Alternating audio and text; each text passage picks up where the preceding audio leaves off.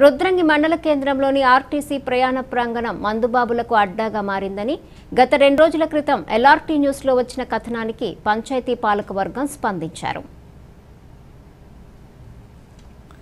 రుద్రంగి గ్రామ పంచాయతీ పాలకవర్గం RTC bus stand ప్రాంగణాన్ని శుభ్రం చేయించారు.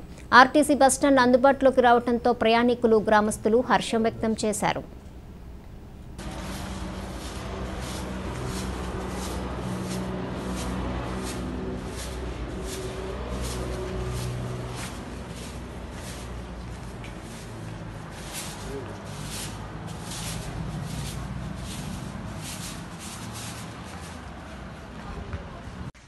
తీసుకోవాలి మళ్ళీ అక్కడ ఉంచకులే తీసుకోపోతాం.